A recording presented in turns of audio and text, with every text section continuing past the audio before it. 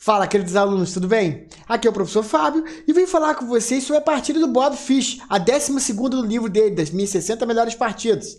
Bom, se você está acompanhando essa saga aqui, que nós estamos fazendo das 60 melhores partidas, lá vem mais uma. E esse é um outro empate que tem nesse livro. Bacana de ver que o Bob Fish colocou os empates para explicar também coisas importantes pra gente. E esse empate, sim, cara, foi contra um grande mestre.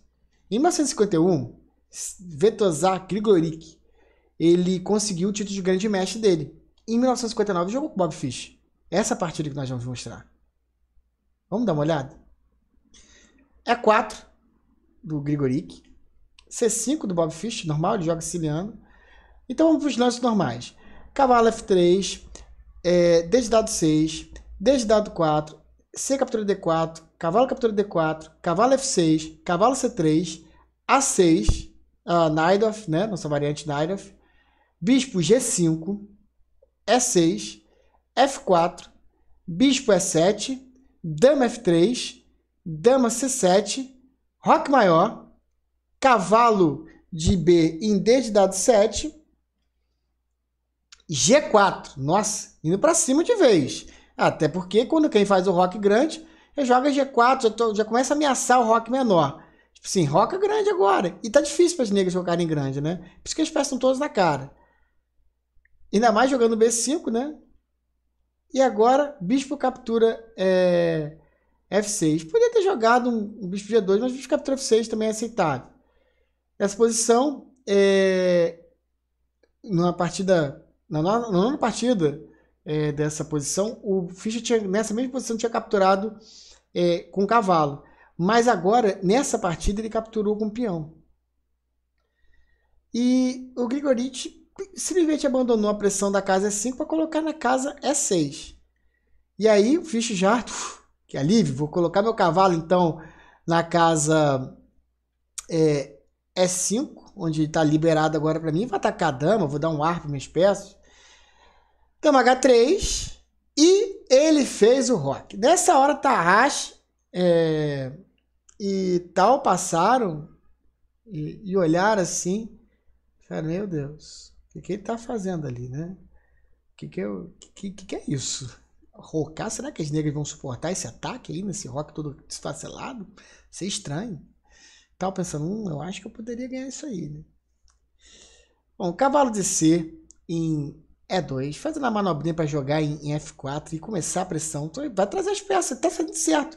Qual que é o objetivo agora das brancas? Pô, todo mundo fez o rock. As negras ainda não desenvolveram tudo, os brancos também não. Mas agora o foco é aproveitar esse rock totalmente ruim das, das negras, né? Enquanto a partida, o, o Fischer queria abrir linhas para poder seus bichos jogarem melhor. Mas vamos ver.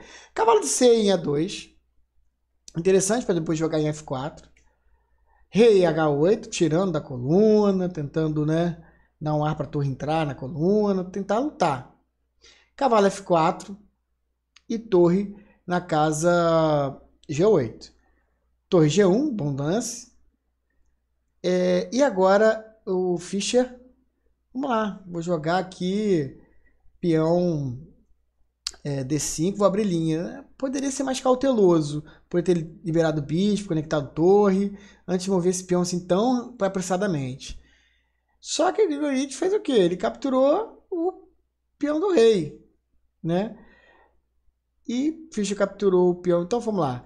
É, F captura E6 e D captura é, E4.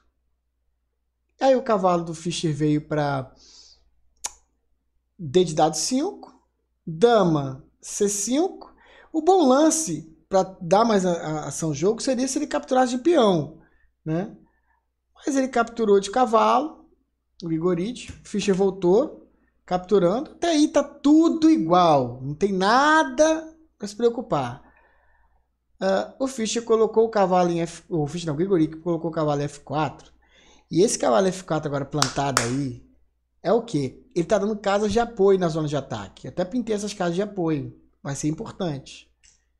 Dama captura é, E6 e dama H6. O Igorite botou uma pressão enorme no Bob Fish e falou: agora eu cravei sua torre.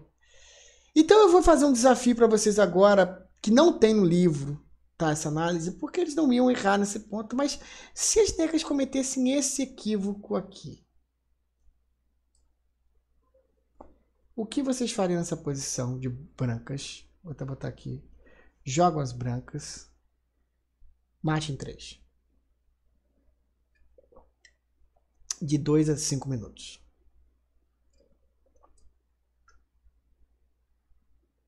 Você deve ter despausado o vídeo. Cara, parabéns. Se você viu torre, D de dado 8. Dama tem que voltar. É o único. Cheque. Torre tem que voltar. E cheque mate de, de dama. Então não podia tirar essa torre para nada, né? Vou até voltar a posição, podia tirar essa torre. Então, o lance que Grit fez, que Fischer fez, desculpa, foi bispo D de dado 7.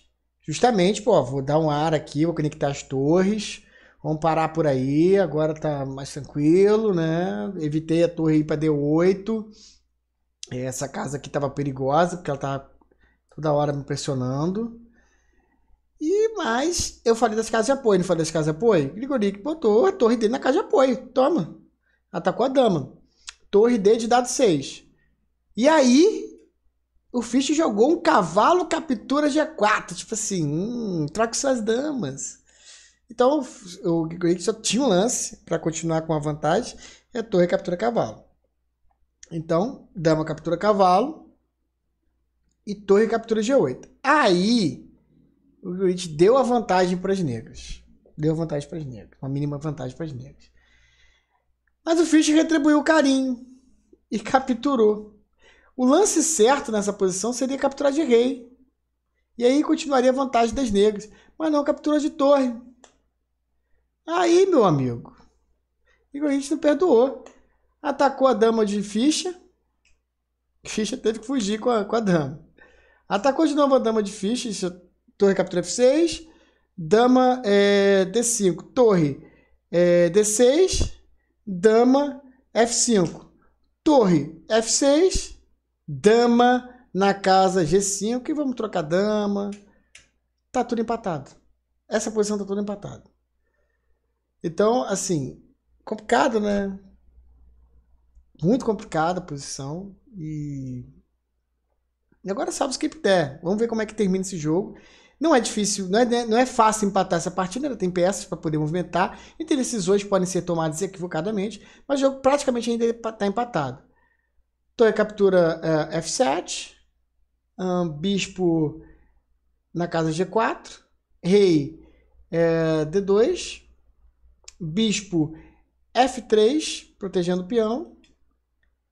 E o rei foi chegando para o centro. Fez certo, Grigorite. Vou trazer meu rei para o centro. Segurar esse peão dele. Né? Uh, torre na casa G1. E agora, bispo H3. Jogar 3, um bom lance. E agora o vai fazer o quê? O, o, desculpa, o Fish vai fazer o quê? Cheque no rei. Torre é um cheque. Rei F4. Bispo agora ameaçando outro bispo. Marrentão. Bispo na casa é, D1. Rei na casa é, E5. E olha só, ele jogou é, E3. Bispo agora na casa F5. E a torre veio para casa G1. Sabiamente. Torre captura H7, cheque. Rei foge para G8. E torre segura agora a casa C2.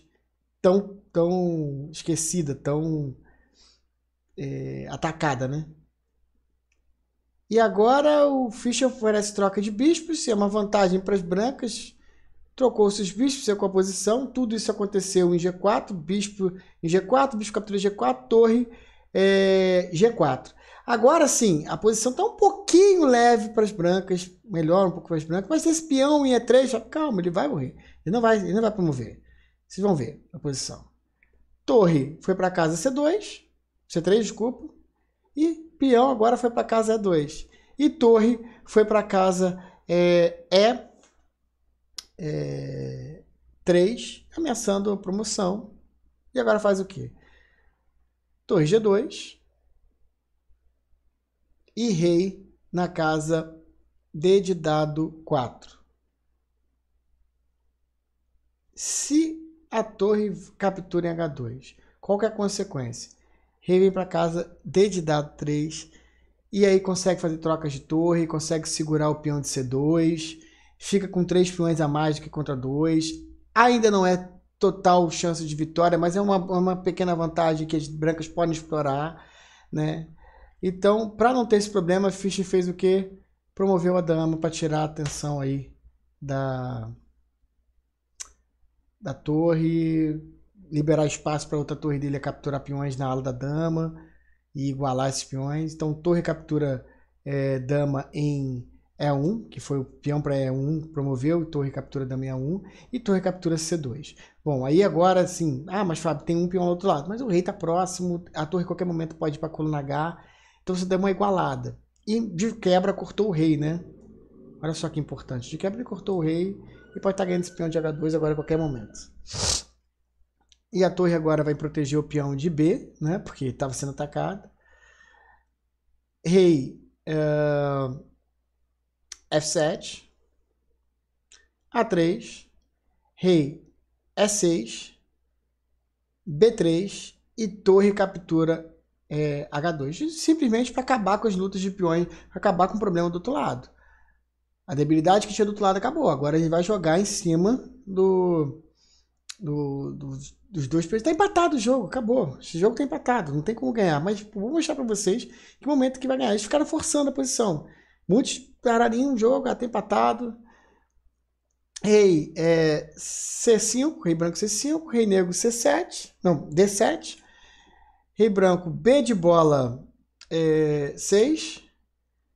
Torre é, negra, A2. Rei captura é, A6. Torre captura A3.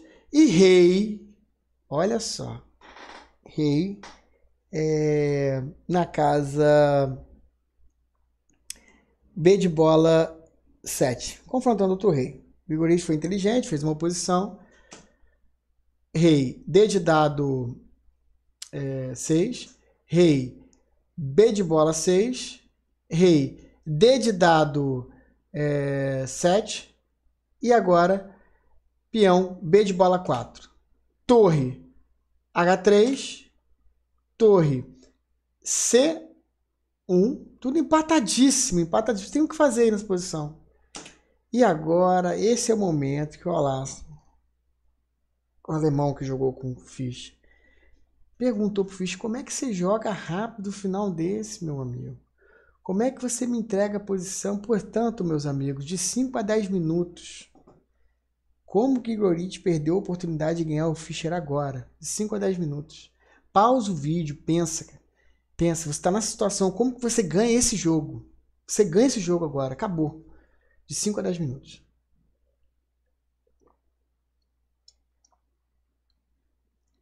Você deve ter despausado o vídeo. Parabéns se você pegou o lance torre C5 ou torre C7. Em ambos os lances é matemático, você não vai perder mais, porque você captura o peão, tá cortando o rei e promove o peão. Tá?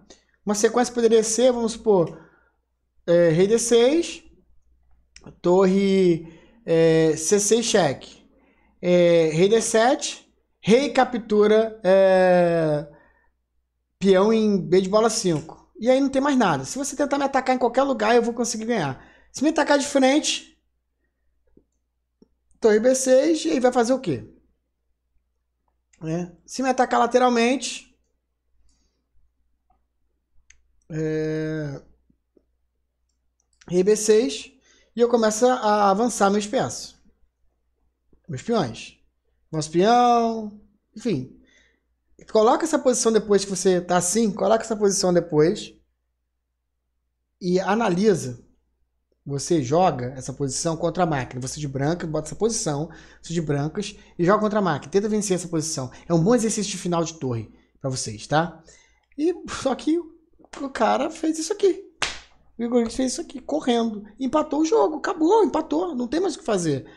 Cheque, é, então o Grigorich fez o quê? Rei captura B5, uh, torre B de bola 8, cheque, rei A4, torre A8, rei B de bola 3, torre C8, torre captura torre em C8, rei captura C8, e agora o Grigorich apostou que o, o Fish não conhecia final.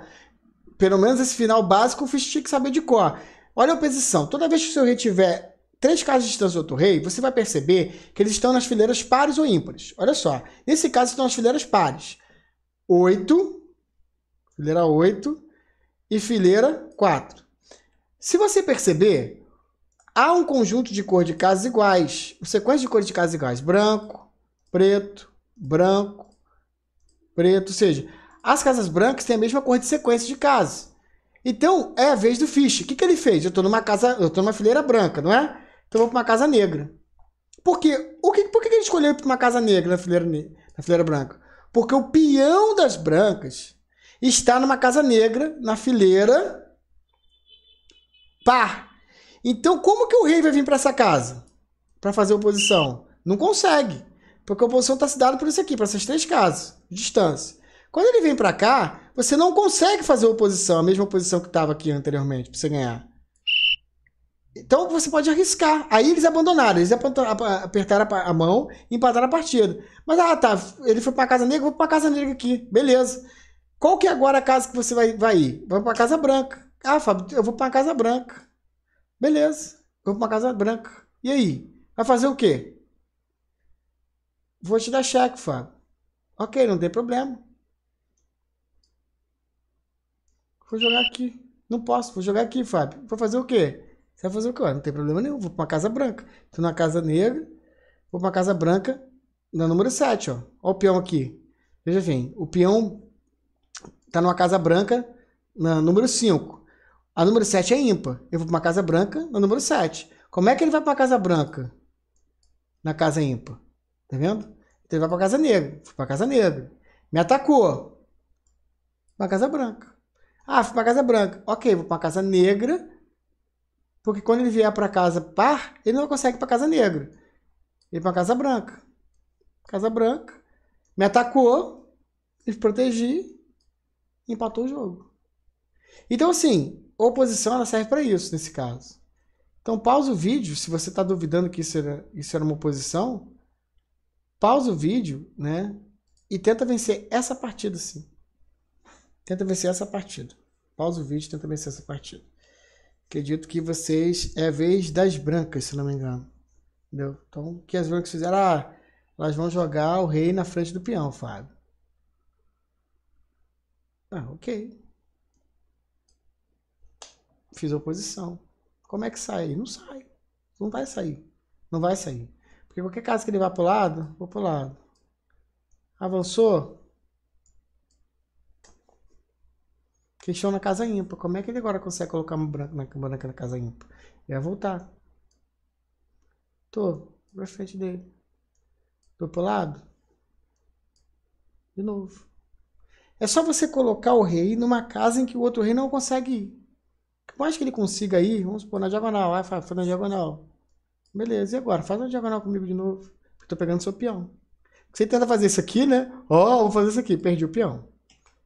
Então, assim, é, pausa o vídeo, analisa, vê essa parte da cor de casa, iguais das fileiras, para tentar fazer uma posição.